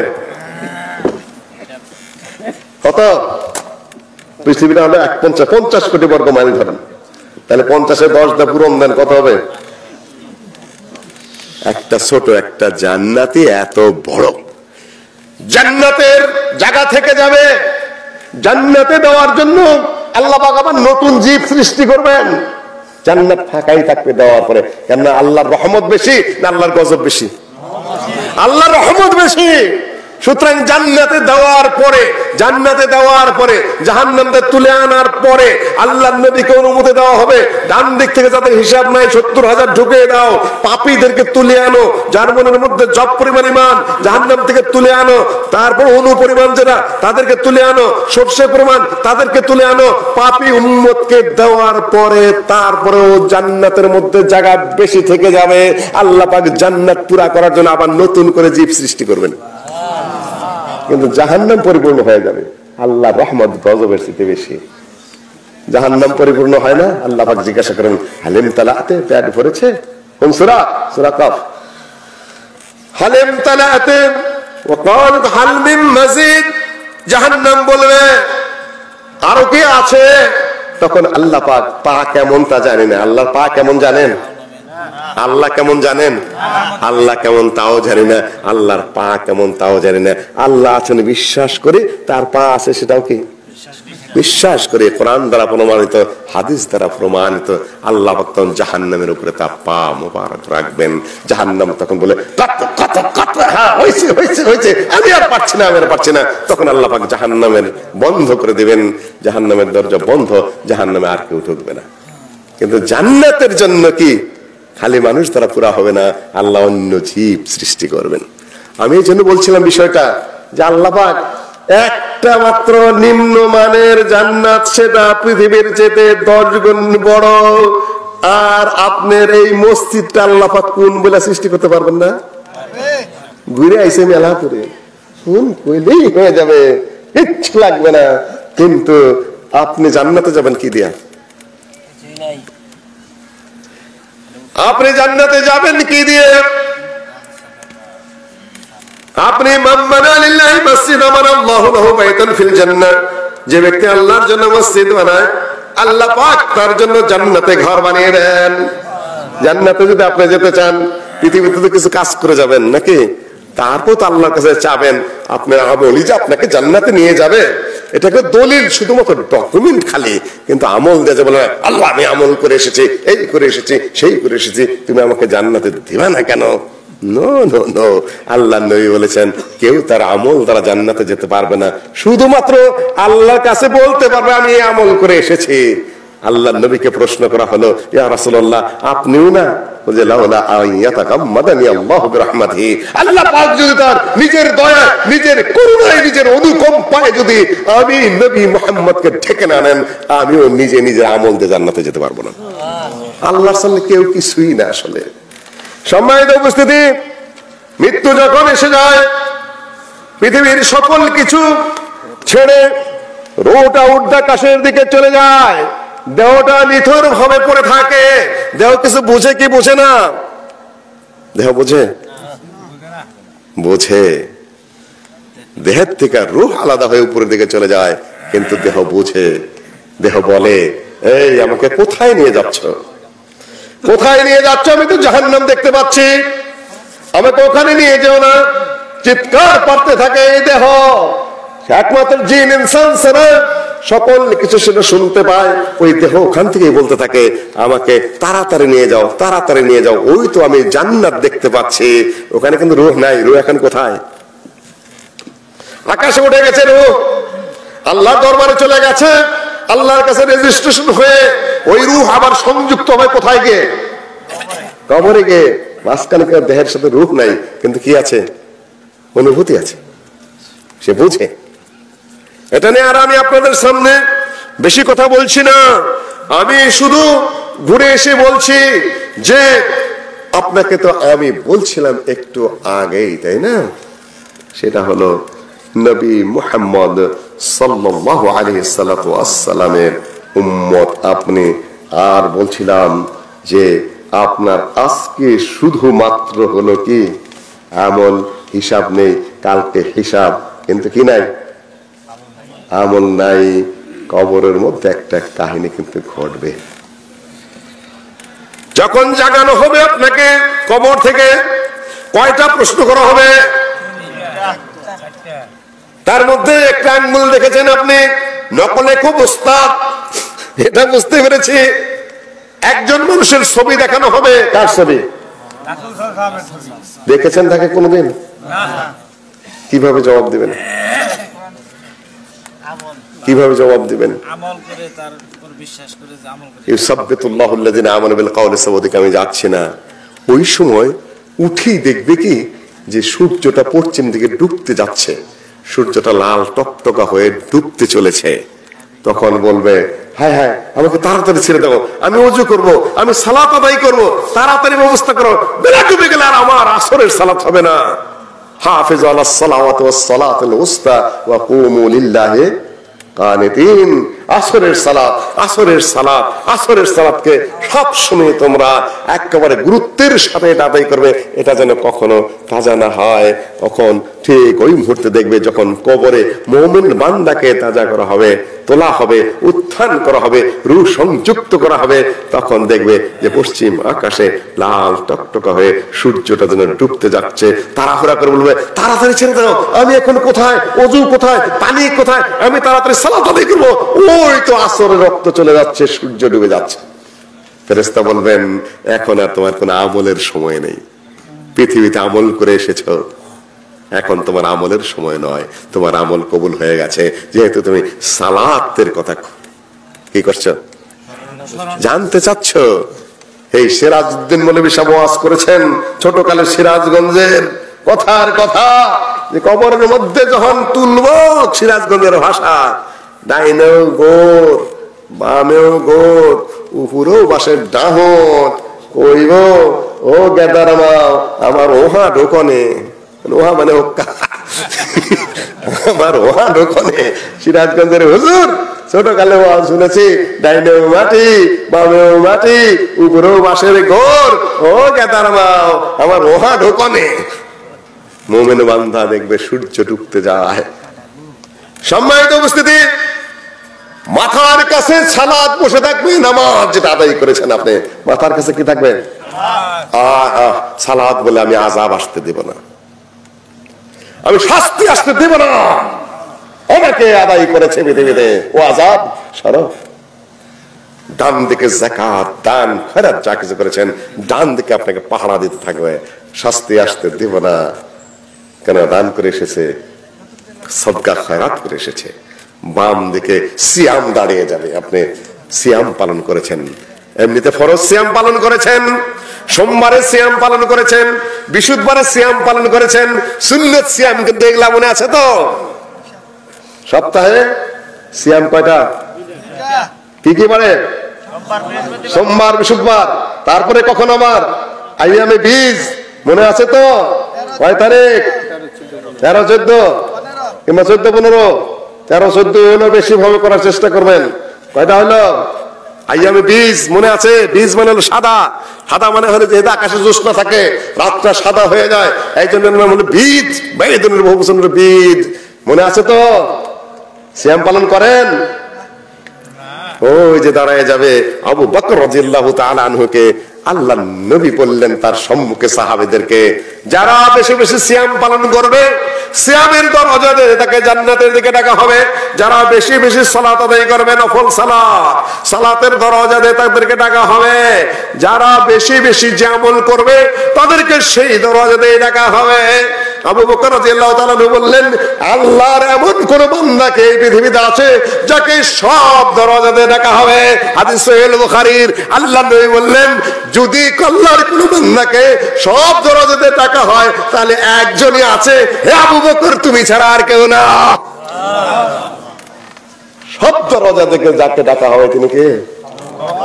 আবু বকর রাদিয়াল্লাহু তাআলা শিয়ার আবার তার বিরুদ্ধে কথা বলে হ্যাঁ রে মুখের ছেদা কি খারাপ কথাবার্তা তার প্রসঙ্গে বলে? সে প্রসঙ্গে আমি বলছি না, ভাইও, কবর, কবরের স্থানটা বড়ই সমস্যাযোগ্য। সাদ রাদিয়াল্লাহু তাআলা জানা যায় আল্লাহ নবী দাঁড়িয়ে আছেন, আল্লাহু আকবার, অনেক দোয়া কালাম পাঠ করছেন। একটু জয়ীফ আছে এটার। বুড়া আঙ্গুলের উপরে আল্লাহ নবী দাঁড়িয়ে গেছেন। জিজ্ঞাসা করা হলো রাসূলুল্লাহ, আপনি আজকে বুড়া আঙ্গুলের উপরে কেন দাঁড়ালেন? আল্লাহ নবী বললেন, এত পরিমাণ ফেরেস্তা উপস্থিত হয়েছে যে আমি পুরা পা দিয়ে দাঁড়াতে পারছি না, বুড়া আঙ্গুলের উপরে দাঁড়িয়ে গেছে। কিন্তু হাদিস একটু সেফ কিন্তু যেটা পুরা সহি সেটা হলো আল্লাহ নবী বললেন আল্লাহর এই বান্দা মারা গেছে যার জন্য আরশ কেঁপে উঠেছে ও ফুতিহাত যার জন্য আসমানের দরজাগুলো খুলে গেছে ও হাদারালাহু সাবউনা আলফা মিনাল মালায়েকা যার জানা যায় 70 হাজার ফেরেশতা উপস্থিত হয়েছে কিন্তু মাটি তাকে এমন ভাবে চেপে ধরেছে যার ছাড়তেছে না। আপনি বুঝতে পারছেন? ওটা একটু আগে বলেছি। এটা পূর্ণাঙ্গ সহি এটা। আপনার আমার কি হবে তাহলে? আপনার আমার কি হবে? প্রথমেই বলেছিল এই মাটি বড় শান্ত, এই মাটি বড় নীরব, এই মাটি বড় ধৈর্যশীল, এর উপরে পেশাব করেন। এর উপরে পায়খানা করেন, এর উপরে গর্ত করেন, এর উপরে খাল কাটেন, এর উপরে সাইকেল চালান, এর উপরে গাড়ি চালান, এর উপরে পুকুর কাটেন, এর উপরে রাস্তাঘাট বানান, এর উপরে বিল্ডিং বানান। মাটি নীরব একটা কথাও বলে না। কথা বলে মাটি? এই যে বসে আছেন, কোনো কথা বলছে? চুপ। যদি মাটি চাইতো যে বিদ্রোহ করব, এখানে কি ধস নমাই দিত? কেউ পানি তুলে দেয়, সব প্যান্ট ভিজাই দিত। মাটির পানি আছে না? চুপ করে বসে আছেন। মাটি নীরব, কিন্তু এই মাটি আপনাকে ছাড়বে না। যে মাটি আজকে নীরব, সে মাটি সরব হয়ে যাবে। সবচেয়ে বেশি চাপ দিবে, এমন ভাবে চাপ দিবে যে আপনার হাড় গোড়গুলা মোড়ে ভেঙে চলে ফেলবেন আর আমল যদি খারাপ থাকে এই দুনিয়ায় সত্তর থেকে নব্বইটা এমন তিন মিন নিয়োগ দেওয়া হবে, তার যদি একটা নিঃশ্বাস এই পৃথিবীতে ছাড়ে, কেয়ামত পর্যন্ত এই পৃথিবীতে কোনো ফসল হবে না। তাহলে কি পরিমাণ বিষাক্ত বলেন তো দেখি। কি পরিমাণ বিষাক্ত? আপনি তো বাড়িতে যাবেন, তাই না? মাঝে মধ্যে আমি উপমাটা দিয়ে থাকি। আপনি বাড়িতে যাবেন, বাড়িতে যেতে ঘুমাবেন, তাই না? বাড়িতে যে ঘুমাবেন না? কীভাবে ঘুমাবেন? অজু অবস্থায় না বিনা অজুতে? অজু অবস্থায় না বিনা অজুতে ঘুমাবেন? ঘুমানোর নিয়মটা শুনে যান, আমি আজকে বিদায় দিতে, বিদায় দিব একটু, সেটাই সেইভাবে আমি কথা বলছি। বাড়িতে যাবেন, ঘুমটা কিন্তু একটা বিদায়, সেটা জানেন? ঘুম কিন্তু একটা মৃত্যু, কোরআনে বলা আছে। আয়াত আমি তলাওয়াত করছি না, হাদিসে আছে, ঘুম হলো মৃত্যু খালাতো ভাই, ঘুম কি? আপনি মরে গেছেন। পৃথিবীতে কি হচ্ছে আপনি কিছুই জানতে পারছেন না। তার মানে কি? ঘুম হলো মৃত্যুর খালাতো ভাই। দৈনিক আপনি মৃত্যুতে চলে যাচ্ছেন। আবার আল্লাহ পাক ফেরত দিচ্ছে। আমার কিছু অর্শের দোষ হয়। মাঝে মধ্যে অর্শের চিকিৎসা। ডাক্তার আসলে ডাক্তাররা বলেন যে অপারেশনের কোনো প্রয়োজন নাই। সতর্ক থাকতে হবে। সতর্ক থাকব কীভাবে? এই যে পথে ঘাটে দৌড়ানো, কোথায় কি খাওয়া? কোথাও মোটা চালের ভাত, কোথাও বা একেবারে তেল, ঝোলে ভরা। কেউ কি আর কথা শুনে? পথে ঘাটে পেশাব পায়খানার ভয় কাজে পকেটে পয়সা থাকলে না খায় থাকতে কেন পেশাব ধরলে তো নামতে পারব না। কোন নিয়ম কানুন মানতে পারি না, তো অর্শ ভালো হবে কীভাবে? তারপরে আল্লাহ যতটুকু ভালো রেখেছেন, আল্লাহর হাজারো শুক্রিয়া। ডাক্তার সাহেব বড় ডাক্তার কর্নেল র্যাঙ্কের ডাক্তার সাহেব। এনেস্থেসিয়া দিয়ে বেহস করে পরীক্ষা টরীক্ষা করলেন। প্রায় আধা ঘণ্টা পরে আমার হুশ ফিরে আসলো। পৃথিবীর বুকে ফিরে আসলাম, আসার পরে রিপোর্ট দিলেন তেমন কোনো সমস্যা নাই, ওষুধেই ভালো হয়ে যাবে, আমি তখন কোথায় ছিলাম? পৃথিবীর কিছু আমি জানি? ওখানে মন সই দিয়ে দিতে হবে আমার আত্মীয় স্বজনের, যে মারা গেলে ডাক্তার দায়ী নন। এই যে আপনি ঘুমাতে গেলেন দৈনিক রাত্রে, এখান থেকে গিয়েও আগের মতো করে কি ঘুমাবেন? না, আজকে যে ঘুমাবেন, একটু পরিবর্তন হবে, বলেন। যেন একটু পরিবর্তন হয়, সেই পরিবর্তনের দিকেই সেই আরেকটা মৃত্যুর কথা আমি আপনাদেরকে স্মরণ করে দেই। বাড়িতে যাবেন আল্লাহ বলেন, হে ইবনে আজব সহিহ মুসলিমের হাদিস, সহিহ বুখারীতে অংশ বিশেষ আছে, হে বারা ইবনে তুমি যখন ঘুমাতে যাবে, তখন সালাত, নামাজের ওযু যেভাবে করো, ওইভাবে তুমি ওযু করবে। মনে থাকবে? আপনার কঠিন এমনি মনে হয়। অভ্যাস করলে কিচ্ছু না। অভ্যাস করলে কিছুই না। একবার যদি একটু অভ্যাস করেন, তখন আর অজু না করলে ভালো লাগবে না। আরে, অজু সারা শুইলাম আজকে। বমি আসবে না। খালি যেন কেমন ছটপট ছটপট করবেন। পরে কেউই নেই কি? কি ব্যাপার? পরে মনে পড়ো, হো, আজকে তো অজু সারা শুইছি রে। অভ্যাস এমন একটা জিনিস, রুহটাই আত্মাটাই পরিচ্ছন্নতার দিকে চলে যায়। ওই আত্মাই আপনাকে খোসাইতে থাকে কেন ঘুম আসে না কেন? ঘুম আসে না, আত্মা ঘুমায় না। কি যেন বাদ পড়ে গেছে, শুধুমাত্র একটু অভ্যাস করবেন। এইভাবে নিজেকে একটু শোধন একটু শোধন করে নেবেন, একটু দিন দিন একটু উন্নত করে তুলবেন। আল্লাহ নবী বলেন, বারা ইবনে আযিবকে হাদিস সহিহ মুসলিমে, পরিষ্কার সহিহ মুসলিম থেকে আমি আপনাকে বলছি, বারা, যখন শুইতে যাবে, তখন তুমি ওযু করবে সালাতের মতো করে। নামাজ আদায় করো যেভাবে। তারপরে কোন কাইতে শুবেন? টিভিটা ছেড়ে দেবেন? ভারতের সিন দেখবেন? পচা পচা নাটক দেখবেন? মূর্তিগুলা যেখানে আসতেছে, দেবদেবীর কাহিনী দেখবেন। তারপরে পচা পচা গান যেগুলা আছে, শ্বশুর শাশুড়ির মারামারি, বাবাকে কীভাবে থাপ্পড় মেরে নিয়ে বাইরে যায়, এই সকল কাহিনী দেখবেন, তাই না? একটা বেকানা ছেলে বেকার নামে কীভাবে জোড়া ধরে বাবা মাকে অপমান করে চলে যায়, এই সকল তালিম নিবেন ওখানকার পোলাপানের তালিম দিবেন। একসাথে বসে দেখবেন বাবা মা, ছেলে, মেয়ে, একজন খেলে একদিকে তাকায় থাকবেন, তাই না? অন্যদিকে তাকায় থাকলে আর সরম করল না। তাই না? নষ্ট ছবি দেখবেন, সবাই মিলে যখন বেশি খারাপ সিন আসবে, তখন বাপ ওই দিকে তাকায় থেকে, মায়ের ওই দিকে পোলাবেন আরেক দিকে হয়ে গেল। লজ্জা সরম আদব আখলাক হায়া, কীভাবে শেষ করছেন? আরে ঘরের মধ্যে কোনো রহমত থাকবে?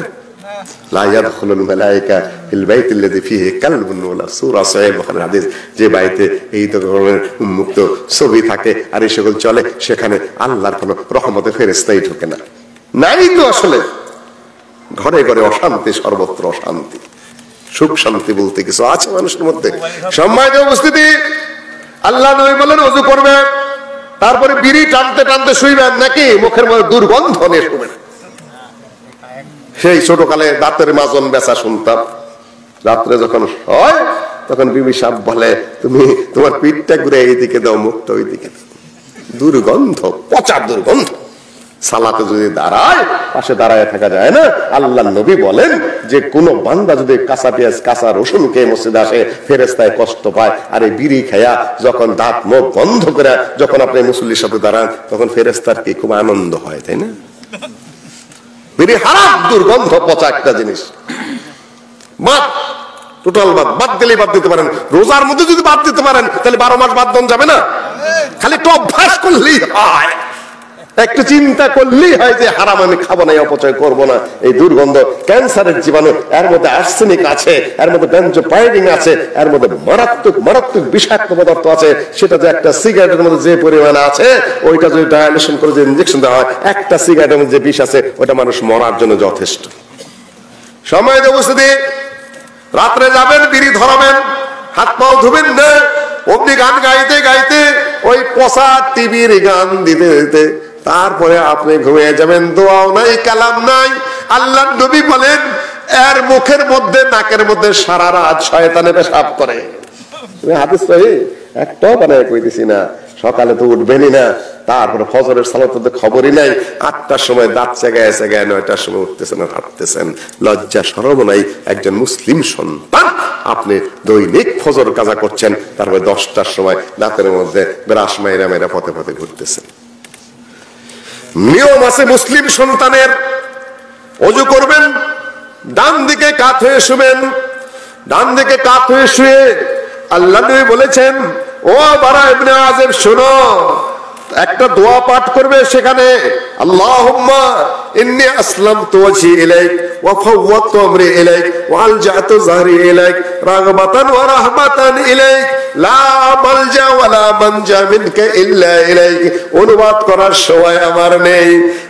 এই পাঁচটা কালেমা পড়ে যদি, দোয়া পড়ে যদি তুমি ডান কাত হয়ে সব আর এই অবস্থায় যদি তোমার মৃত্যু হয়ে যায় মুত্তাল আল ফিতরা, তাহলে সদ্য প্রসিত শিশু যেমন নিষ্পাপ হয়ে পৃথিবীতে জন্মগ্রহণ করে, ঠিক তুমি ওই রকম নিষ্পাপ অবস্থায় মৃত্যুবরণ করবে। দোয়াটা জানা আছে? লিখে নিবেন। লিখে নেবেন, মুখস্থ থাকতে হবে এমন তো কথা না। আরবের অত্যন্ত ব্রেন তেজি ব্রেন একবার শুনে বলছেন, ইয়া রাসুল্লাহ এখন আমি শুনে দিই। তেজি ব্রেন না হলে এত লক্ষ লক্ষ হাদিস তারা কীভাবে মুখস্থ করে আমাদেরকে সংরক্ষণ করে দিলেন? কোরআন কীভাবে তারা হেফজ করে আমাদের সামনে তুলে দিলেন? অনেকেই বলেন যে কোরআন এবং হাদিস তো পরে সংকলিত হয়েছে এর মধ্যে সন্দেহ আছে। আমি বলি, আহম্মদ, লেখা কেন মুখস্থ আগে। কোনটা আগে বলেন তো দেখি। আল্লাহ উম্মতে মোহাম্মদকে এমন প্রেম দিয়েছেন, তাদের লেখার প্রয়োজনই ছিল না। আল্লাহ নবীর কাছে শুনেছেন, সাথে সাথে মুখস্থ টু দি পয়েন্ট মুখস্থ।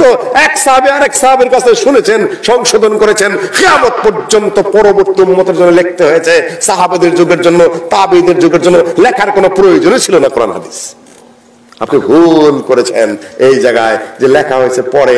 লেখা তো দরকারই ছিল না। আল্লাহ এমন ব্রেন তাদেরকে দিয়ে দিয়েছিলেন এমনকি বাংলাদেশের ছাত্ররা যখন মধ্যপ্রাচ্যে কোরআনে করিমের হেফজের প্রতিযোগিতায় যায়, আগে ধরে, গোড়ায় ধরে, ওই প্রার্থে ধরে, এই প্রার্থে ধরে একটা শব্দ ধরে, কীভাবে তারা হুক হু বলে যায় কোরআনে করিম? তারপর তারা ফার্স্ট হয়ে আসে সেকেন্ড হয়ে আসে।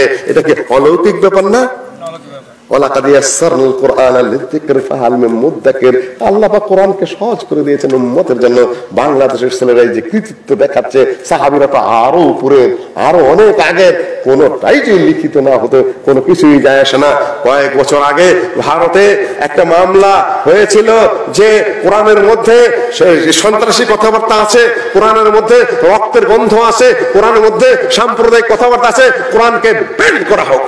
আমরা তখন আলিগড়ে পড়াশোনা করে আবদুল্লাহ বুখারি তখন দিল্লি জামি মসজিদের ইমাম তিনি একটা খোদবা দিলেন যে মেরা कोई एतराज नहीं है कुरान को जला दो या जमुना में फेंक दो लेकिन शर्त यह है कि रामायण भी फेंक दो महाभारत भी फेंक दो ग्रंथ साहिब भी फेंक दो त्रिपिटक भी फेंक दो तौरात भी फेंक दो इंजिल भी फेंक दो जितना दीन किताबें हैं सब ही दरिया में फेंक दो और जला दो और मेरा इस पुरान करीम को भी जला दो कुछ परवाह नहीं কোরআনে কারিম পুরা ফেলাও নাহলে ফেলায় দাও আমার কোনো আপত্তি নেই কিন্তু সকল ধর্মগ্রন্থ ওই একই কাজ করতে হবে সকল ধর্মগ্রন্থ পুরাই ফেলাইতে হবে নাহলে সাগরে ফেলাই দিতে হবে তখন কোন কোন মুসলমান বললেন যে হুজুর আপনি দিল্লি জামি মসজিদ খতিবের কি বললেন যে তুম সমঝা নেই তোমরা বোঝো না হে इसलिए के इसी हिंदुस्तान में लाखों हाफिज है कुरान का।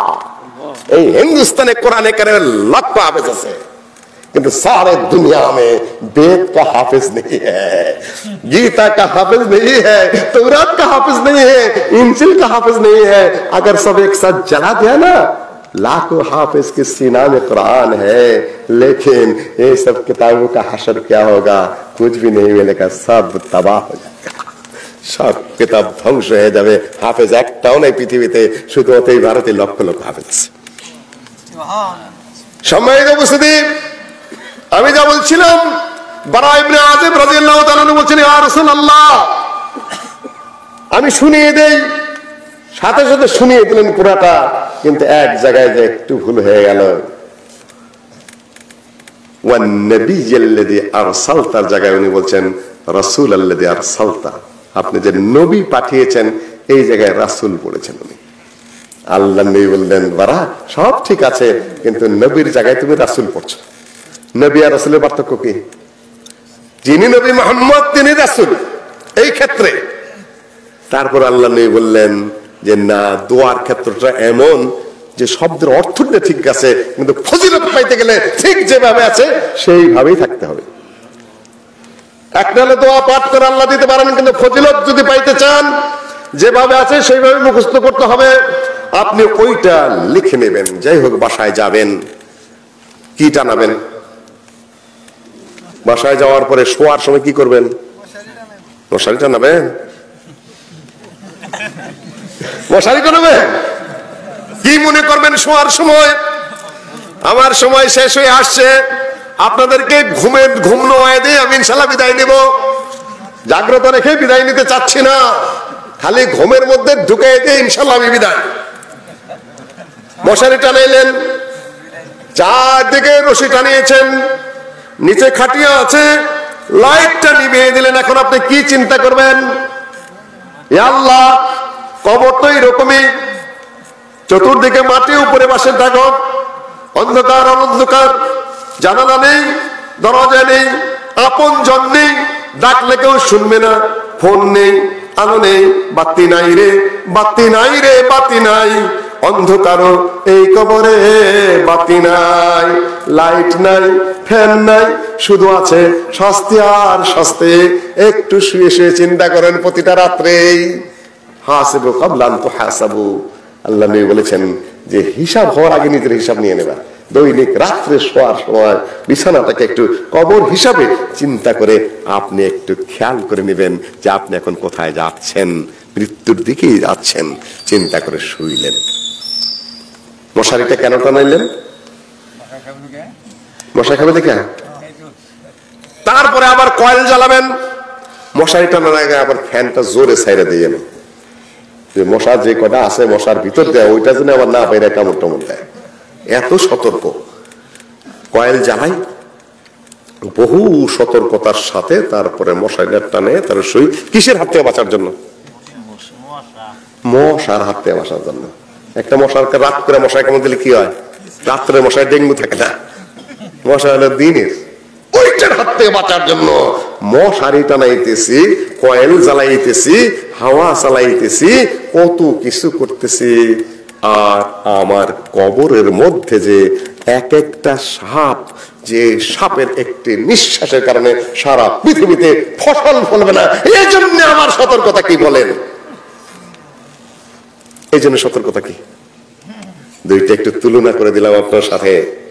যে এখানে এত সতর্কতা, ওটা নিয়ে আপনি ভাবছেন না। ওটা তো বাস্তব, ওটা সত্য কথা। যাই হোক আপনি মশাই টানালেন। ভদ্রলোক মানুষ আমি আপনার একজন দোস্ত মানুষ। একটু রসিক কথা করলাম চুঙ্গার মধ্যে পাঁচটা, ছয়টা মশা রেখে দিয়েছি। আপনি ঘুমানোর পরে আমি মশাকে বললাম, মশারে, এ কিন্তু আমার দোস্ত মানুষ, একটাও কামড় দিবি না। মশার মশারের ভিতর দিয়ে পাঁচটা মশা ছাইরা দিয়ে মশারে আটকে দিলাম। মশাও ভদ্র, আমার কথা শুই না কামড় দিল না।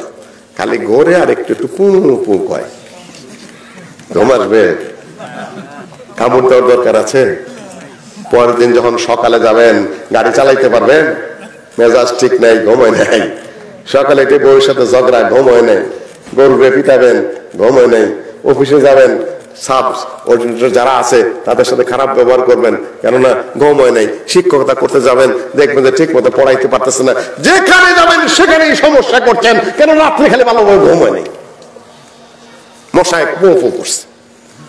এই যে কবর কবরের মধ্যে কি শান্তি পাবেন আপনি? ওরাইহিম বারযাখ ইলা ইয়াউমি ইউবাসুন সূরা মুমিনুনের 99 নম্বর আয়াত 100 নম্বর আয়াত সামনে আনবে আপনি বলবেন আল্লাহ, তুমি ওটাকে ফেরত দাও। আমি একটু ভালো কাজ করে আল্লাহ বলেন, কাল্লা, কখনো হবে না। কালিমাতুন হুয়া কাইলুহা অপরাধী যখন ধরা পড়ে পুলিশের হাতে, তখন এভাবেই বলে, স্যার, আজকের মতো সাইরা দেন, আর কোনোদিন হবে না। এরপর দেখব না। ইনশাল্লাহ কসম করে কইতাছি, আপনার বাপ দাদা চোদ্দ গোষ্ঠীর কতম খায় কইতাছি আল্লাহ বলেন, কাল্লা, হবে না।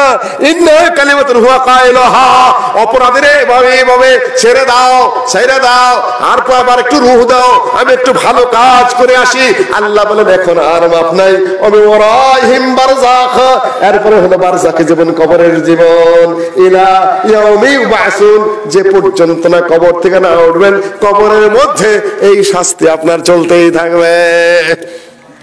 মনে আছে কবরের কথা? রু আমি বলছিলাম আপনাদের সামনে মৃত্যু নিয়ে সামান্য একটা কথা বলব। মৃত্যুটা কি? কেউ বলতে পারবেন? মৌতটা কি?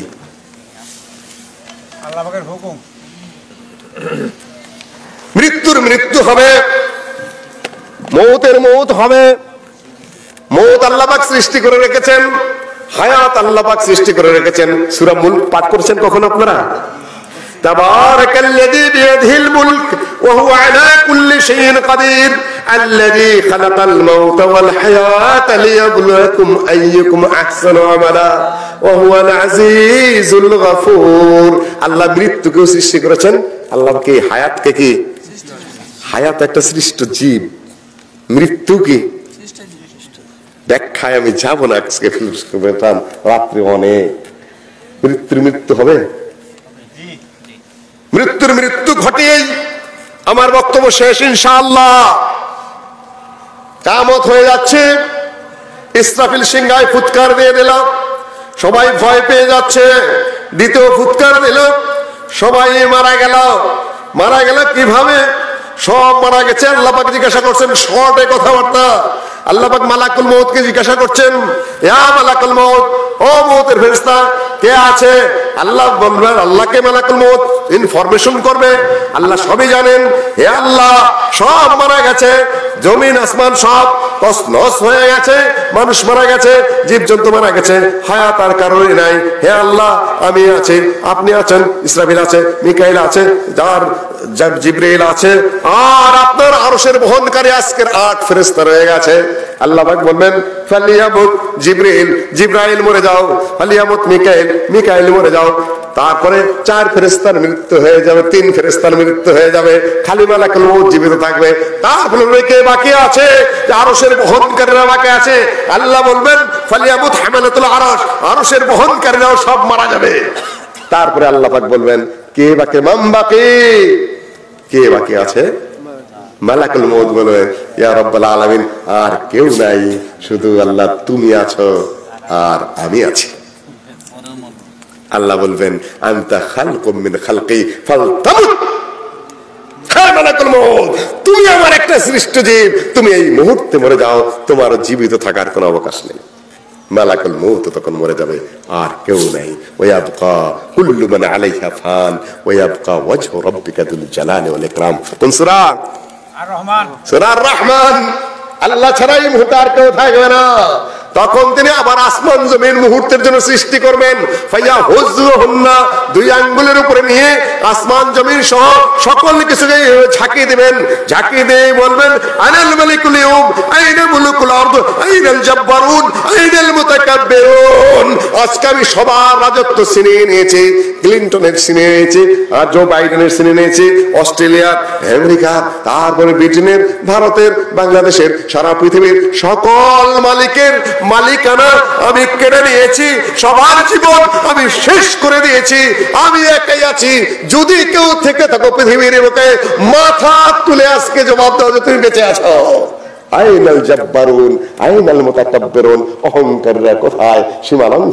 কোথায় দেশের রাজা কোথায়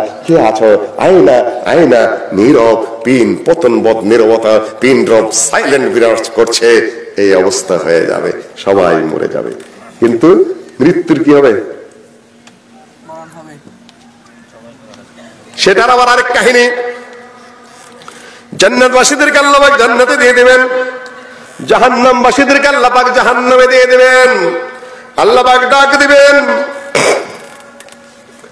ও জান্নাতবাসীরা, তোমরা আশা করো। জান্নাতবাসীরা বলবে, ইয়া রাব্বাল আলামিন, এত কিছু দিছো তুমি যে আশা আর কি করব? আশা করতে তো ভুলে গেছি। আল্লাহ বলবে যে, আশা করো, তামান্না।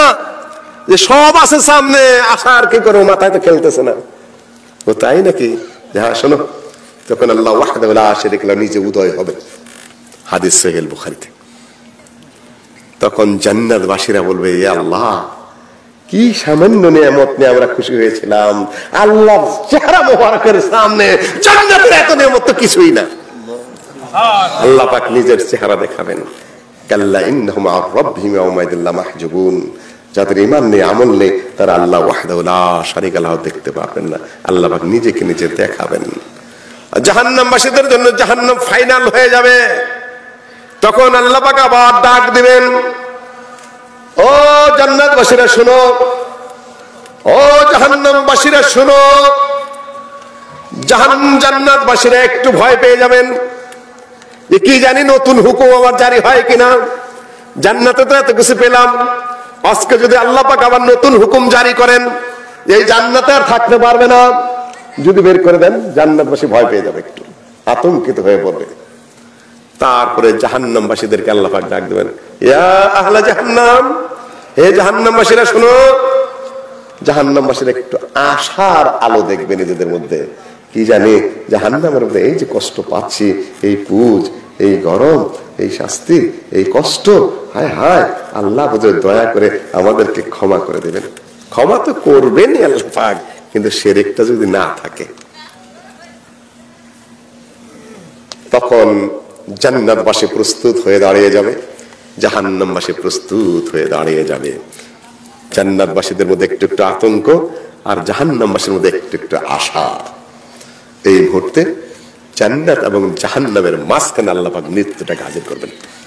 মৃত্যুটা হবে কিসের মতো? আমলাহ মাইটা রঙের দুম্বা। জান্নাত এবং জাহান্নামের মাঝখানে সেরাতের কাছে। সেরাত চেনেন তো? সেরাত চেনেন? বল। সেটা সেরাতের নিচে কি থাকবে? নদী না জাহান্নাম? ওয়াজ শুনতেছেন না আজকাল?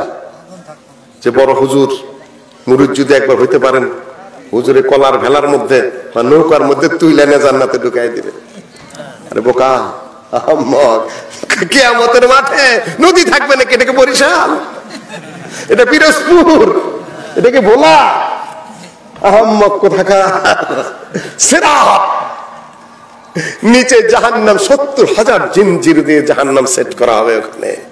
রহিয়া তামুর। وهي تفور تكاد تميز من الغيظ كلما ألقي فيها فوج سألهم خزنتها سورة ملك বিবরণ জাহান্নাম উত্থাল তরঙ্গ ভেঙে চুরে পড়ছে একটা একটা খেয়ে ফেলছে পরপর শোষ আওয়াজ হচ্ছে আগে ছিল আগুনের রং ছিল লাল তারপরে সাদা তারপরে কালো কুচকুচে আগুন ধাও ধাও করে সেখানে জ্বলছে তারপরে সেরাত বসানো আছে আদা কমিনা সেফ তলোয়ারের চেয়ে ধারালো আহাদ কমিনা সেফ তলোয়ার চেয়ে ধারালো আদা কমিনা সার চুলের চেতে পাতলা তার মধ্যে আবার জালাক পিচ্ছিল পা পিছলে পড়ে যাবে।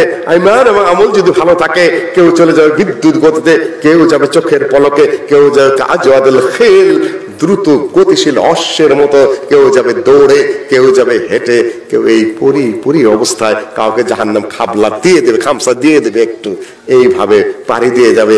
আর যদি কেউ পা পিছলে পড়ে গেল সেই কোথায় চলে গেল? পড়ে গেল। হুজুররা ওয়াজ শুনাইতেছে, হুজুরের মুড়ি ধুয়ে যান কলার গাছের বেলার মধ্যে তুইলা নৌকার মধ্যে তুইলা পাড়ি দিয়ে দিন। কিছুই জানে না কে আমার প্রসঙ্গে প্রাথমিক ধারণাও নেই। জান্নাতবাসীর জান্নাত, জাহান্নামবাসীর জাহান্নামের পরে আল্লাহ ওয়াহদাহু জান্নাত এবং জাহান্নামের মাঝখানে সিরাতের কাছে মৃত্যুকে একটা দুম্বার আকৃতি ধরে মাইটা রঙের সেখানে জবাই করে দিবেন। মৃত্যুর মৃত্যু হয়ে যাবে।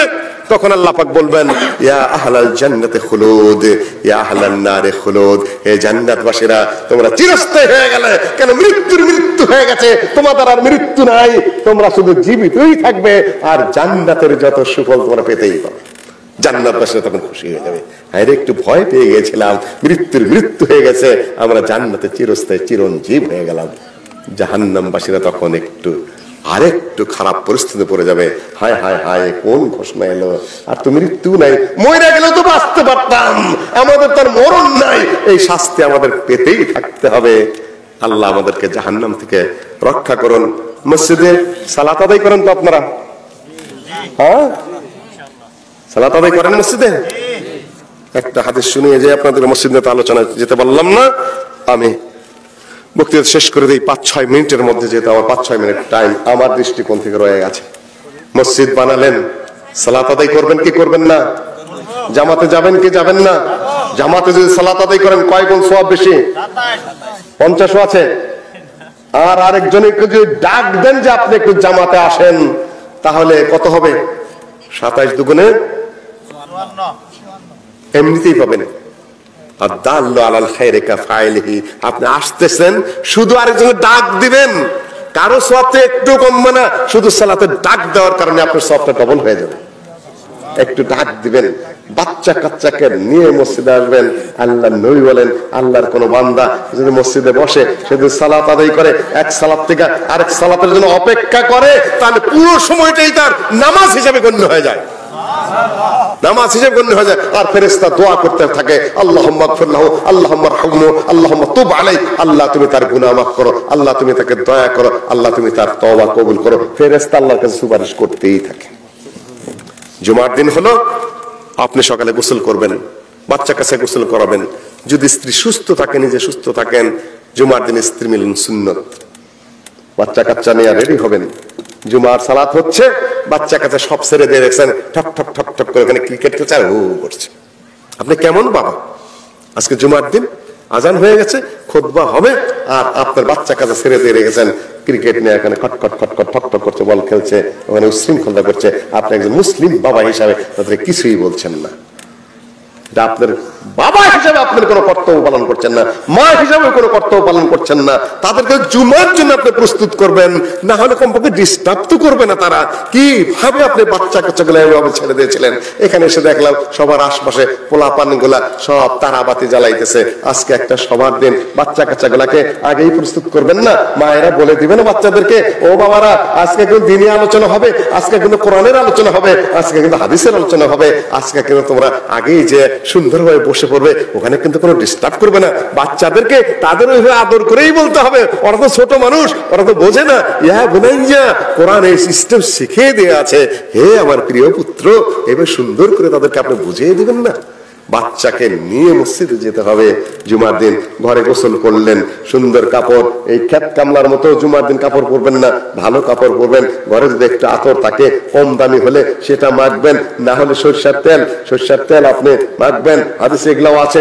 তারপরে রাস্তার দিকে বেরিয়ে গেলেন, আর রাস্তার মধ্যে অন্য কোনো কাজ করবেন না, যে ক্ষেতের কামও করলাম গরু তাড়াইলাম দোকানদারেও করলাম, মসজিদে গেলাম, ফজিলতটা পাবেন না। সুন্দর করে মসজিদে গেলেন, মসজিদে গেলে দুই রেখা তাহিয়াতুল মসজিদ পড়লেন, তারপরে বসে গেলেন। জুমার আগে কিন্তু আর কোনো সুন্নত নাই, শুধুমাত্র দুই রেখা তাহিয়াতুল উদু কিংবা দুই রেখা তাহিয়াতুল মসজিদ নফল পড়তে পারেন। জুমার আগে কোনো সুন্নত সালাম নাই। হুজুররা যেটা বলেন, বৈশা পড়েন বৈশা পড়েন, বয়ান হবে, সুন্নতের সময় দেওয়া হবে, কথাটা ঠিক নয়।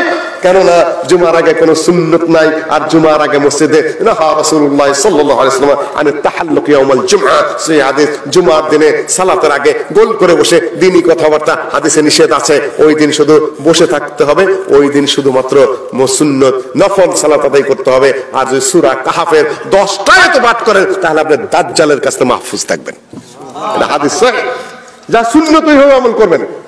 আপনি বসে গেলেন, দুই রেখাত দুই রেখাত নফল পড়তে থাকলেন, নাহলে চুপ করে থাকলেন, কোরআন তেলাওয়াত করলেন, ইমাম সাহেব এসে গেলেন, তারপরে তিনি খোতবা দেওয়া শুরু করে দিলেন। আপনি জুমার সালাত আদায় করলেন, তারপরে পাইতে গেলেন। গত এক সপ্তাহের সাগরা গুনা মাফ হয়ে গেল। কোন কোন হাদিসের সামনের এক সপ্তাহের কথা আছে সাগরা গুনা কি হয়ে গেল? মাফ হয়ে গেল।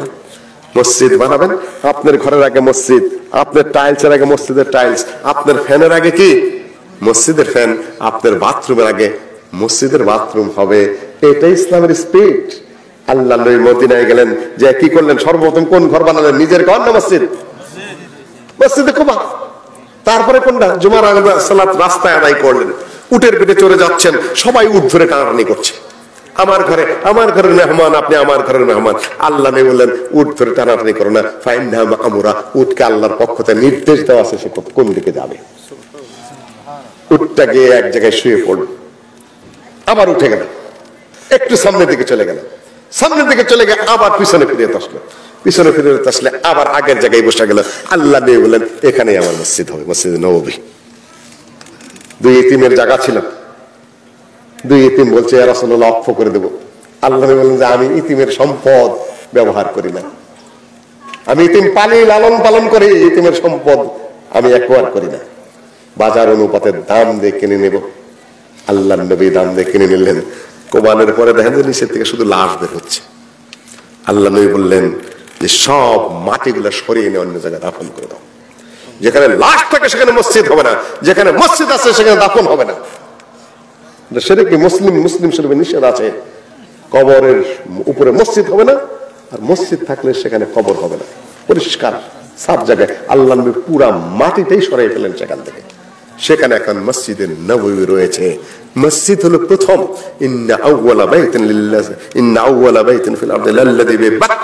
পৃথিবীর সর্বপ্রথম ঘর কোনটা?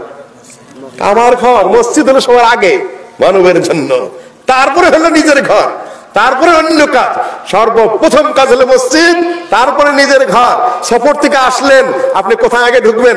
আল্লাহ নবী আগে মসজিদে ঢুকে দুই রেখা নফল করে তারপর নিজের বাড়িতে যেতেন আজকার আমি আপনাদের সামনে সকল আলোচনা বাড়াচ্ছি না।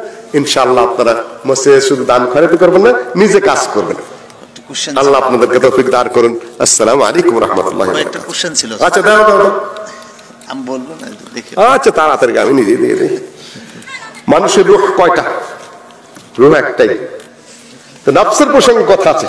নফসে আম্মারা নফসে মুতমাইন্না নফসে লাওয়ামা বিস্তারিত আলোচনা করার অবকাশ আমার নেই। নফসে আম্মারা হলো যেটা কুপরামর্শ দেয়। ইন্নান নাফসা লা আম্মারাতুম বিসসু কোরআন আছে।